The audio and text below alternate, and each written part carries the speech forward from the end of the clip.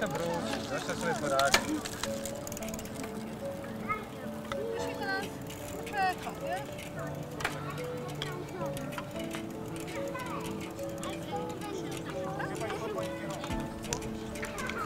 Czterem procentom zdrowych rodziców rodzi się chore dziecko. Taki jest świat, po prostu tak, to jest. Chyba najlepiej będzie zacząć od, po prostu od początku. Poszliśmy na USG. Pierwsza rzecz, jaką myśmy się dowiedzieli, to, to była agenezja ciała modelowatego. No więc pierwsza rzecz, jaką usłyszeliśmy, nie wiedzieliśmy w ogóle, co to jest, ale że coś dzieje się z, z mózgiem. No a to jest, to jest rzeczywiście dość, yy, no dość duży szok, tak się dowiedzieć o takiej, do- dostać taką wiadomość. Pamiętam, że kiedy wyszliśmy ze szpitala, to na przykład do takich naszych przyjaciół, gdzieś tam najbliższych, którzy wiedzieli, że jesteśmy w ciąży i czekamy na te pierwsze ba- badania. Właśnie to w ogóle, żeśmy, ja tego naprawdę nie traktowałam w kategoriach badania. E, To napisałam tylko SMS chłopiec z uśmiechem i, i tyle.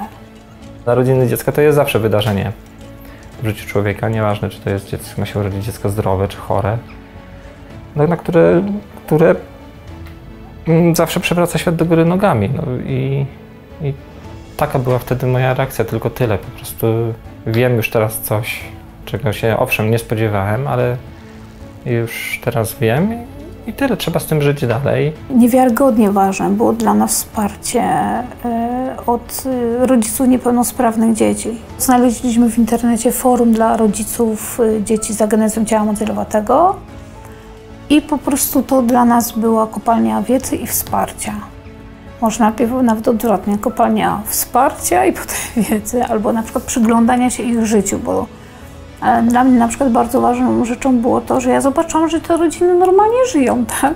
Takie po prostu. To nie jest tak, że po, po, po urodzeniu niepełnosprawnego dziecka albo po nie, pomyślnej diagnozie człowiek nagle zaczyna być kompletnie kimś innym, tak? Że na przykład y, nagle, tracę na przykład zainteresowania, które miałam wcześniej. Owszem, one schodzą na plan dalszy, ale to nie jest tak, że nagle ich tego wszystkiego nie ma, tak? Albo nie wiem, że nagle e, nie lubię muzyki, jaką lubiłam wcześniej.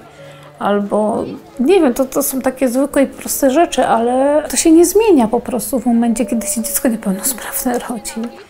I myślę, że warto po prostu o tych takich bardzo prostych rzeczach pamiętać e, też. Jeśli gdzieś, e, jeśli gdzieś w otoczeniu mamy kogoś takiego. Po raz pierwszy go zobaczyłem pod tymi maszynami, które już przez. E, najpierw to były takie dwie wielkie butle i oscylator, który daje po kilkaset oddechów na minutę, o ile dobrze pamiętam. No i oczywiście to nie było w ogóle żadnego kontaktu z dzieckiem. Bo wszystko zależało wtedy od tych, tych pierwszych kilku dni, godzin.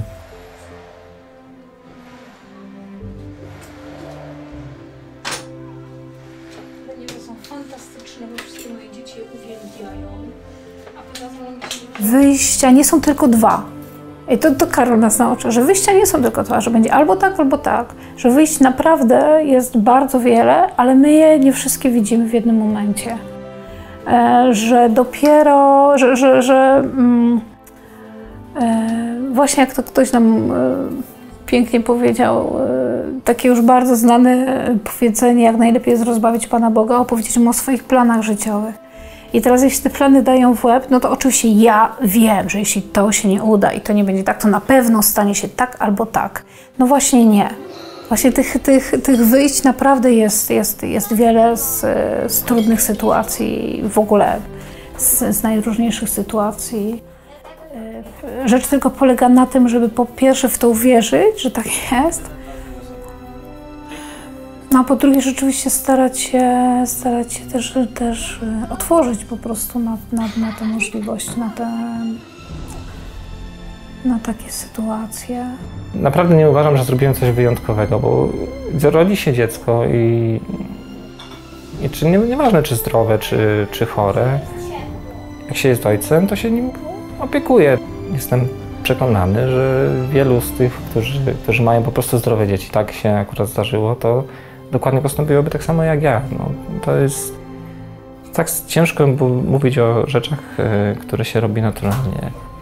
I e, owszem, tak jest nasza kultura i społeczeństwo i w ogóle, że to częściej, szczególnie na początku, mama się zajmuje dzieckiem. To z naturalnych przyczyn.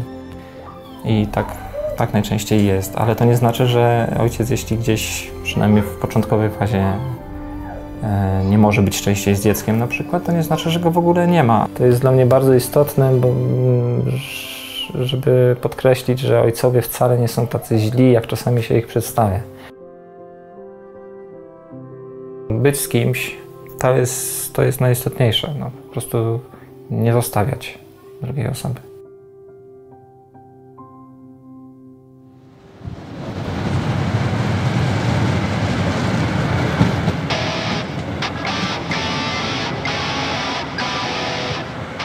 Plac Centralny to jest idealne miejsce, gdzie Karol może dostać wszystko to, co kocha, czyli y, jednocześnie tramwaje, autobusy, motory, y, samochody osobowe i to wszystko się kręci wokół Na dodatek jego jeszcze osi. spacer. Karol po prostu to kocha. Karol, Karol uwielbia lubi. pojazdy wszelkiego rodzaju, to jest też miejski chłopak. Owszem, jak go czasami gdzieś zabierzemy na spacer po lesie, czy gdzieś jak na łono natury, no to jest okej, tak ale, ale, ale warunku, wolałby że Jeździ na wertepach, to wtedy to no, jakoś też, też lepiej. A ono jeszcze, jeszcze może być też, że, że rowery. Tak. Wtedy też jest okej. Chociaż najlepiej by było, gdyby w tym lesie jechał tramwaj. Wychodzimy i idziemy, jeśli jest jakiś taki rzeczywiście punkt docelowy, to najczęściej ze względu na dziewczyny wybrane, czyli powiedzmy jest to plac zabaw. A to, co jest po drodze, to Karola interesuje przejeżdżający tramwaj, ruch uliczny i Tak. przejście. Byłam teraz na rehabilitacji z Karlem we Wrocławiu i była taka sytuacja, że część y, sal, w których mieliśmy rehabilitację, była od strony osiedla, więc tam jakieś parkany, jakieś krzaczki, roślinki, a po drugiej stronie w innych y, salach była ulica i y, większość czasu spędzaliśmy tam właśnie z, od strony osiedla. W momencie, kiedy przenieśliśmy się na kolejne zajęcia właśnie od strony ulicy, Karol po prostu jakby coś w nim, nie wiem, jakieś guziczki ponaciskano. Od razu zareagował. Ja zupełnie nie zauważyłam tego widoku, po prostu, że jest to widok na ulicę.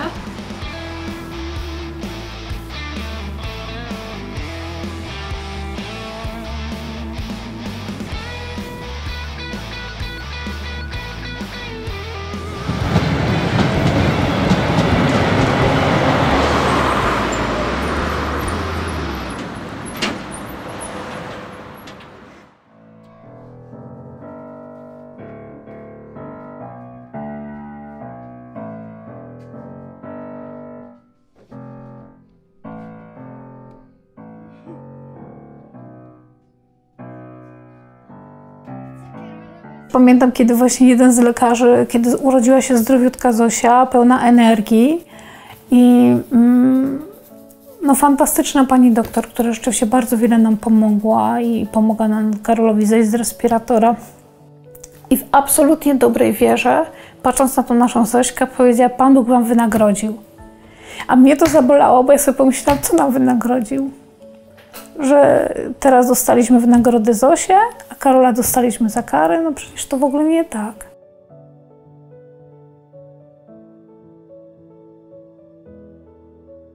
A mnie raz ryt tak podrapał, naprawdę ciągle bolało. a No już właśnie, nie a Karola nie podrapał nigdy. Nigdy, chociaż Karol się Bo nie broni, nie? Chociaż Karol się nie broni i no tak. No jest coś takiego. Karol to jest niesamowity człowiek. A dlaczego tak uważasz? No, dlatego, że niepełnosprawny. Chociaż umie tyle rzeczy. Umie tyle rzeczy, chociaż jest niepełnosprawny, no nie? No, To też. Miał nie umieć, miał nie umieć siedzieć, miał nie umieć w ogóle chodzić. No, jeśli chodzi o ten. Jeśli chodzi o chodzenie, to No. nie jest zbyt łatwo chodzić, ale jednak już z krzesła innego do krzesła innego, jednak już trochę A lekarze mówili, przyszedł. że on nigdy nie będzie oddychał sam. Tak, też miał nie oddychać przede wszystkim. I lekarze też mówili, że nie wiadomo, czy przeżyje kilka tygodni, kilka miesięcy, a on już ma przy- 15 lat. Tak, a on już przeżył 15. O ile kiedyś stwierdzenie, że życie jest tajemnicą, że są rzeczy, które są tajemnicą, że Bóg jest tajemnicą. Kiedyś to dla mnie było trochę pomijanie tematu i takie uniknięcie odpowiedzi. Tak teraz widzę, że po prostu tajemnica jest odpowiedzią tak naprawdę. Że owszem, mogę się zastanawiać i całe swoje życie marnować na szukanie odpowiedzi, dlaczego ja, albo dlaczego tak jest, że 4% zdrowych rodziców rodzi się chore dziecko.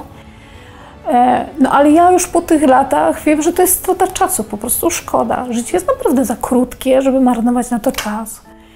E, I po prostu lepiej żyć, po prostu żyć.